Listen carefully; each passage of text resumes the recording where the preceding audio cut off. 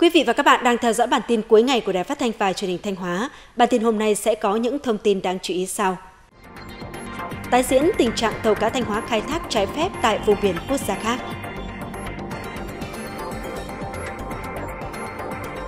Nỗ lực nâng cao tỷ lệ hồ sơ trực tuyến trên nền tảng số hóa dữ liệu Thưa quý vị và các bạn, sáng nay 25 tháng 7, Ủy ban nhân dân tỉnh Thanh Hóa tổ chức hội nghị tiếp doanh nghiệp tháng 7 để tiếp nhận phản ánh kiến nghị đề xuất và giải quyết tháo gỡ khó khăn vướng mắc trong quá trình đầu tư sản xuất kinh doanh của các doanh nghiệp. Qua tổng hợp của các huyện Thọ Xuân, Nga Sơn, Hà Trung, Thường Xuân, hội nghị đã tiếp nhận nhiều kiến nghị đề xuất của các doanh nghiệp liên quan đến xem xét xây dựng hoặc sửa đổi, bổ sung một số quy định của pháp luật về tiêu chuẩn phòng cháy chữa cháy, xác định giá trị quyền sử dụng đất, cơ chế chính sách miễn giảm tiền thuế đất cho doanh nghiệp, đơn giản hóa các thủ tục khi cho doanh nghiệp vay vốn, tạo điều kiện cho doanh nghiệp tiếp cận nguồn vốn, cơ cấu lại thời hạn trả nợ, hỗ trợ doanh nghiệp phục hồi phát triển. Hội nghị cũng đã tiếp nhận kiến nghị đề xuất của 7 doanh nghiệp thuộc Hiệp hội Doanh nghiệp tỉnh Thanh Hóa về các nội dung tăng cường chủ trương Thanh Hóa ưu tiên dùng hàng Thanh Hóa, tiếp tục có các chủ trương chính sách nhằm hỗ trợ sản xuất, kết nối trong sản xuất kinh doanh, tiêu thụ sản phẩm, tăng cường công tác quản lý kiểm tra các sản phẩm không rõ nguồn gốc xuất xứ, hàng nhái, hàng kém chất lượng, vấn đề nộp tiền thuê đất và ký hợp đồng thuê đất xác định giá đất và thủ tục thuê đất để triển khai dự án đảm bảo tiến độ, xem xét miễn giảm tiền thuế đất, tạo điều kiện để doanh nghiệp tiến hành các thủ tục điều chỉnh chủ trương đầu tư xem xét miễn giảm tiền thuế đất, tạo điều kiện để doanh nghiệp tiến hành các thủ tục điều chỉnh chủ trương đầu tư dự án, xác định giá trị đền bù tài sản trên diện tích đất bị thu hồi sát với thực tế hoặc có phương án hỗ trợ đảm bảo công bằng cho nhà đầu tư. Chủ tịch Ban dân tỉnh Đỗ Minh Tuấn đã giao nhiệm vụ cụ thể cho các sở ngành đơn vị có liên quan chủ động phối hợp và tạo điều kiện thuận lợi cho doanh nghiệp giải quyết các khó khăn vướng mắc trên cơ sở quy định của pháp luật. Chiều nay 25 tháng 7, Ban chỉ đạo 35 tỉnh ủy Thanh Hóa đã tổ chức chấm sơ khảo cuộc thi chính luận bảo vệ nền tảng tư tưởng của Đảng lần thứ 3 năm 2023. Cuộc thi chính luận Bảo vệ nền tảng tư tưởng của Đảng lần thứ ba năm 2023 do Học viện Chính trị Quốc gia Hồ Chí Minh chủ trì, phối hợp với Ban tuyên giáo Trung ương, Hội đồng lý luận Trung ương, Tạp chí Cộng sản, Báo Nhân dân, Đài truyền hình Việt Nam và Hội Nhà báo Việt Nam tổ chức từ tháng 2 đến hết tháng 7 năm 2023. Thông qua cuộc thi nhằm tiếp tục tuyên truyền, nâng cao nhận thức trách nhiệm của cấp ủy tổ chức đảng, của cán bộ đảng viên và nhân dân đối với nhiệm vụ bảo vệ nền tảng tư tưởng của Đảng, đấu tranh phản bác các quan điểm sai trái thù địch, góp phần bảo vệ Đảng, Nhà nước, nhân dân và chế độ. Xác định đây là đợt sinh hoạt chính trị sâu rộng, Ban chỉ đạo 35 tỉnh ủy Thanh Hóa đã triển khai phát động đông đảo cán bộ đảng viên, đoàn viên hội viên trong hệ thống chính trị và các tầng lớp nhân dân trên địa bàn tỉnh hưởng ứng tham gia cuộc thi. Đến nay, toàn tỉnh đã có hơn 12.300 bài dự thi của 29 đơn vị, trong đó có 1.683 bài thi được chuyển về Ban chỉ đạo 35 tỉnh ủy. Căn cứ quy định tiêu chí nội dung chất lượng các bài dự thi, Hội đồng chấm sơ khảo cuộc thi chính luận bảo vệ nền tảng tư tưởng của Đảng lần thứ 3 năm 2023 đã lựa chọn các bài thi có chất lượng tốt nhất để tham dự vòng trung khảo cuộc thi. Sáng nay 25 tháng 7, Sở Công Thương Thanh Hóa đã phát động phong trào chung tay đẩy lùi ô nhiễm do rác thải nhựa. Lễ phát động thu hút sự tham gia hưởng ứng của đông đảo các doanh nghiệp, cơ sở sản xuất kinh doanh dịch vụ thương mại, tiểu thương, các chợ trên địa bàn thành phố Thanh Hóa. Tại Thanh Hóa, trung bình một ngày có 345 tấn rác thải nhựa thải ra môi trường, trong đó chỉ khoảng 2,2% được tái chế. Lượng chất thải này ngày càng khó kiểm soát, có chiều hướng gia tăng, đe dọa nghiêm trọng đến môi trường sống, sức khỏe của con người. Tại lễ phát động, lãnh đạo Sở Công Thương Thanh Hóa kêu gọi các doanh nghiệp sản xuất sản phẩm nhựa, doanh nghiệp quản lý khai thác các chợ, siêu thị, trung tâm thương mại trên địa bàn tỉnh cùng chung tay hành động đẩy lùi ô nhiễm do rác thải nhựa. Trong đó cần đẩy mạnh đổi mới công nghệ, cải tiến quy trình sản xuất, ưu tiên sản xuất và sử dụng các sản phẩm thân thiện với môi trường trong sản xuất công nghiệp, tiếp tục thực hiện nghiêm kế hoạch, lộ trình hạn chế và tiến tới không sử dụng túi ni lông khó phân hủy tại các chợ, trung tâm thương mại, siêu thị, cửa hàng kinh doanh, khuyến khích người tiêu dùng mang túi, bao gói khi mua sắm hàng hóa, không cấp phát miễn phí túi ni lông cho khách hàng, đồng thời đẩy mạnh tuyên truyền về nguy cơ ô nhiễm nhằm thay đổi thói quen, tiến tới từ bỏ thói quen sử dụng sản phẩm nhựa, đặc biệt là túi ni lông và sản phẩm nhựa dùng một lần của người dân. Hôm nay 25 tháng 7, Phòng khám Medatech Thanh Hóa thuộc hệ thống y tế Medatech đã tổ chức chương trình chăm sóc sức khỏe tri ân người có công nhân dịp kỷ niệm Ngày Thương binh Liệt sĩ 27 tháng 7.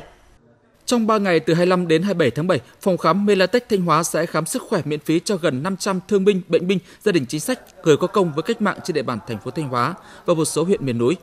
Melatech Thanh Hóa sẽ thực hiện xét nghiệm đường máu, mỡ máu, chức năng gan, khám nội tổng quát, mắt, răng hàm mặt, tai mũi họng, siêu âm ổ bụng cho người có công, từ đó để phát hiện sớm và sàng lọc các bệnh lý. Đây là một trong những hoạt động thường niên được hệ thống y tế Meletech thực hiện để tri ân với những người có công với cách mạng cũng như thực hiện trách nhiệm chăm sóc sức khỏe cộng đồng qua các hoạt động thiện nguyện, góp phần nâng cao chất lượng cuộc sống của những người đã có đóng góp cho sự nghiệp xây dựng và bảo vệ Tổ quốc. Thưa quý vị và các bạn, thời gian qua, các lực lượng chức năng trên địa bàn Thanh Hóa đã thực hiện nhiều giải pháp với quyết tâm cùng cả nước đặt mục tiêu tháo gỡ thẻ vàng thủy sản vào cuối năm nay. Tuy nhiên, việc thực hiện chống khai thác bất hợp pháp, không báo cáo, không theo quy định IUU trên địa bàn tỉnh vẫn còn nhiều hạn chế.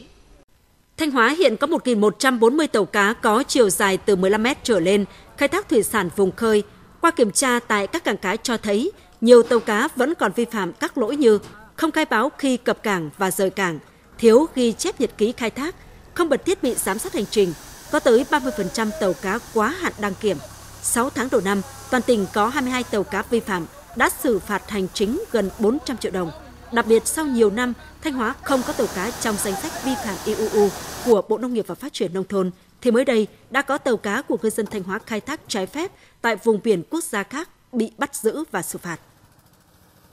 ngành nông nghiệp cùng với các cái địa phương sẽ tăng cường công tác tuyên truyền giáo dục ngư dân đặc biệt là cái việc à, duy trì À, các thiết bị giám sát hành trình trên biển thứ hai là tăng cường công tác tuần tra kiểm soát, giám sát tàu cá ngay tại cảng cá và các cửa lạch, cửa sông ven biển để phát hiện, ngăn chặn kịp thời những tình trạng tàu cá thiếu thiết bị giám sát hành trình, tàu cá không có các hồ sơ thủ tục theo quy định Đợt làm việc với đoàn thanh tra Ủy ban châu Âu EC lần thứ tư vào tháng 10 năm 2023 sẽ là cơ hội để tháo gỡ thẻ vàng thủy sản. Việc tháo gỡ được thẻ vàng không chỉ mang lại lợi ích kinh tế mà còn là hình ảnh đất nước trên trường quốc tế. Do vậy, ngành chức năng các địa phương, văn phòng đại diện thanh tra kiểm soát nghề cá cần tăng cường tuyên truyền quản lý đội tàu, kiểm tra xử lý vi phạm. Đặc biệt mỗi người dân cần nâng cao ý thức tuân thủ nghiêm các quy định của pháp luật trong hoạt động nghề cá. Theo đánh giá của Văn phòng Chính phủ, Cơ quan Quản lý Cổng Dịch vụ Công Quốc gia, nếu như năm 2022, tỷ lệ hồ sơ trực tuyến của tỉnh Thanh Hóa đạt khoảng 40% tổng số hồ sơ, thì chỉ trong 6 tháng đầu năm 2023, con số này đã tăng lên hơn 59%. Để đạt được kết quả này, các sở ngành cấp tỉnh và chính quyền ba cấp tỉnh Thanh Hóa đã thực hiện đồng bộ nhiều giải pháp với quan điểm lấy số hóa hồ sơ thủ tục hành chính làm nền tảng và trách nhiệm thực thi nhiệm vụ của cán bộ là động lực. Đến thời điểm này, hầu hết các hồ sơ được tiếp nhận tại bộ phận một cửa của cả ba cấp chính quyền trên địa bàn tỉnh Thanh Hóa đều đã được số hóa để phục vụ khai thác, chia sẻ và tái sử dụng. Để tạo thuận lợi tối đa cho người dân khi thực hiện thủ tục hành chính trực tuyến, nhiều cơ quan đơn vị trên địa bàn tỉnh cũng đã chủ động soạn thảo, ban hành các mẫu hồ sơ điện tử công khai trên trang thông tin điện tử của sở ban ngành để người dân tiện tra cứu, tải về máy tính hoặc thiết bị thông minh và tự thực hiện thủ tục hành chính trực tuyến, chủ động chụp ảnh, scan giấy tờ cá nhân đi kèm. Tôi đã xây dựng các cái kế hoạch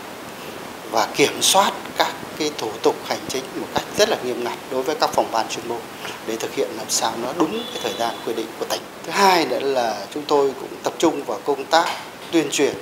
vận động người, người cán bộ công chức làm thêm giờ. Thứ ba nữa là chúng tôi cũng chọn cán bộ ở cái phòng à, tiếp nhận hồ sơ ở trung tâm hành chính công là những cán bộ có trình độ chuyên môn như cái độ nhiệt huyết về công việc. Thanh Hóa đặt mục tiêu đến hết năm 2023, tỷ lệ nộp hồ sơ trực tuyến đạt tối thiểu 90% ở cấp tỉnh, 87% ở cấp huyện và 60% ở cấp xã. Tỷ lệ hồ sơ trực tuyến toàn tỉnh đạt tối thiểu 85% ở cấp tỉnh, 80% ở cấp huyện và 60% ở cấp xã.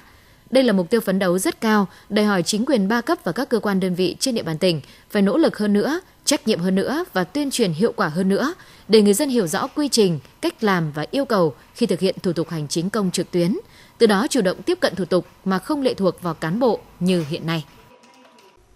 Bản tin cuối ngày hôm nay xin được khép lại tại đây. Cảm ơn sự quan tâm theo dõi của quý vị và các bạn. Xin kính chào tạm biệt và hẹn gặp lại.